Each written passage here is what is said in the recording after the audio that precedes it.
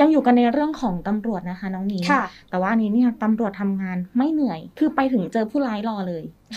ยินยอมแต่โดยดีไม่ขัดขืนอย่างอย่างใดเลยนะคะ พร้อมที่จะอยากโดนจับเป็นชายชาวต่างชาติไม่ทราบสัญชาตินะคะ ก่อเหตุลักทรัพย์ในห้างสรรพสินค้าแห่งหนึ่งย่านหนองปลือค่ะ หลักๆเนี่ยเขาบอกว่าอยากกลับบ้าน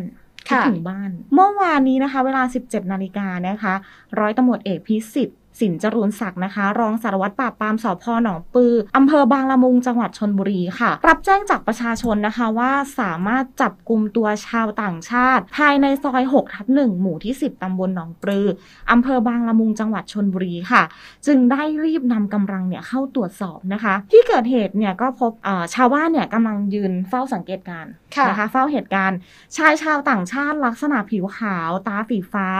รูปร่างสูงใหญ่ค่ะ สวมเสื้อแขนยาวสีดำนะคะ กางเกงขาสั้นสีดำสะพายกระเป๋าเป้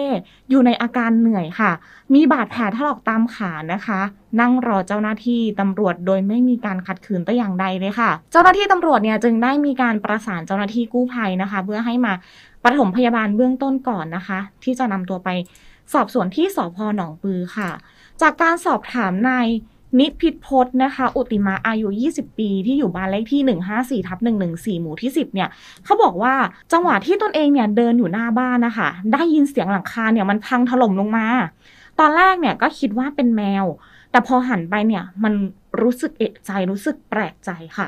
เพราะว่าเห็นเป็นคนต่างชาติ ตกลงมาจากหลังคา ฝ้าเพดานเนี่ยได้รับความเสียหายนะคะ ก่อนที่ชาวต่างชาติคนนี้เนี่ยจะเดินออกไปทางหน้าบ้านเหมือนไม่มีอะไรเกิดขึ้น นอกจากนี้เนี่ยก็มีอีก 3 หลังนะคะ ที่ได้รับความเสียหายในลักษณะเดียวกันค่ะ ก่อนจะมีชาวบ้านแล้วก็พนักงานของห้างสรรพสินค้าภายในซอยบุญสัมพันธ์นะคะ แล้วก็เจ้าหน้าที่ตำรวจเนี่ยมาควบคุมตัวไป เบื้องต้นเนี่ยเจ้าหน้าที่ตำรวจได้เปิดเผยนะคะว่า ชาวต่างชาติเนี่ยได้ไปก่อเหตุ ขโมยสุราจำนวน 2 แบรนด์มาจากห้างสรรพสินค้าแล้วก็วิ่งหลบหนีมาค่ะ โดยมีพนักงานห้างเนี่ยไล่ติดตามมานะคะ จนกระทั่งหนีตกลงมาจากหลังคาได้รับบาดเจ็บนั่นเองค่ะ แล้วก็ถูกควบคุมตัวไว้ เขาบอกว่าชาวต่างชาติเนี่ยให้การปฏิเสธนะ แค่อยากให้เจ้าหน้าที่เนี่ยจับกลุ่มเพื่อที่จะส่งกลับประเทศ เพราะว่าตนเองเนี่ยคิดถึงบ้านเกิดนะคะ แต่ว่า ยังไม่ยอมให้ข้อมูลไม่ว่าจะเป็นชื่อสัญชาติหรือว่าประเทศที่อยากกลับยังไม่บอกในเรื่องนี้ไม่ยอมให้ข้อมูลในส่วนนี้นะคะ ส่วนในเรื่องของการกระทำความผิดเนี่ยก็ต้องรอให้